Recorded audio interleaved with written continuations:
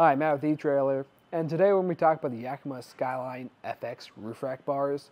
So this is going to be a great option for you if you're looking for a system that's going to be really easy to take on and off, and you have flush rails. So let's take a closer look at it. Now this is going to be able to fit multiple size roofs because these do have the ability to expand. You just have to plug in your vehicle into our fit guide and find out what's going to be the best fit for you. The main appeal of this is how easy it is to take on and off your roof. Now you'll just have to make sure you take off all these caps. I've already removed the ones from the passenger side. But as you can see right here, with everything removed like that, you just lift up on it and it pops right off. Putting it back on is just as easy, just sliding on that end cap to finish it off until it clicks into place. Now we take a closer look at the Yakima system.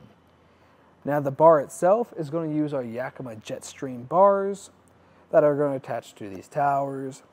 And since this design is made this way, this is going to be a flush rail system. So what that means is we're not going to have any overhang. So that's going to give you more of a clean finish to your system, but it's also going to take away some real estate of where you can put accessories on top of your bars too.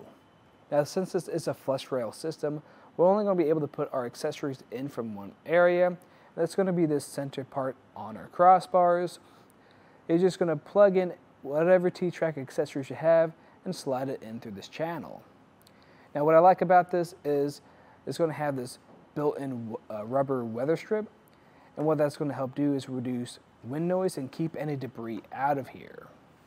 And what's really great about this weather strip is that you don't have to cut this down the size since it is built in. Taking a closer look at the Skyline towers now. If I just remove this end cap, which gives it that really nice clean finish to it, we can take a close look at the hardware inside of it. Now you'll notice we have this access door, and that's gonna lock everything down into place so no one can take this off real quick. Now I will say, the lock core that we have on here is just a plastic lock core that you can unlock with a screwdriver or with some quarters. So I'm not, so it's not really that secure. Anybody could come by and take it off real quick. What I'd recommend doing is going to our website and checking out some of the Yakima lock cores that we have. And those will be metal lock cores that you can get key to like to any of your other Yakima accessories too. To take a closer look at the hardware underneath here, I'm just gonna unlock this access door, open it up. Now you'll notice we have two bolts in here going to have one on top, and that's going to adjust your pitch. The way you adjust that is with an included Allen key. You just tighten and loosen that up. And what that's going to do is change the angle of the crossbar itself to accommodate different types of roofs. If you are someone who's very particular on how the, this fits on your roof, then that's going to give you more control. And the other setting we're going to have in here is going to be this bolt that adjusts your length of your crossbars to fit on top of your roof. Just give you an example of that, what that's going to look like. You just have to lift this up some, close that back in. You can access it even with the access door closed. Loosen up that bolt some until it's loose enough to adjust.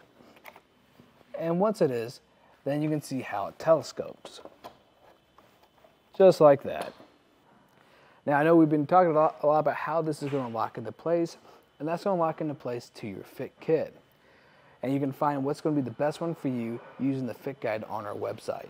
Something that I really like about this design, as opposed to some of the other Yakima crossbars, is just going to be how sleek it fits up here. You don't have to worry about anything that's bulky hanging off the sides of it, and just how those towers fit onto those crossbars is just going to give you an overall better look. Now you're going to have a weight capacity of up to 165 pounds. what I recommend doing is just checking what your roof is rated for so you don't overload it. But if you liked everything you saw today, that was just a look at the Yakima Skyline FX roof rack bars. Thanks for watching.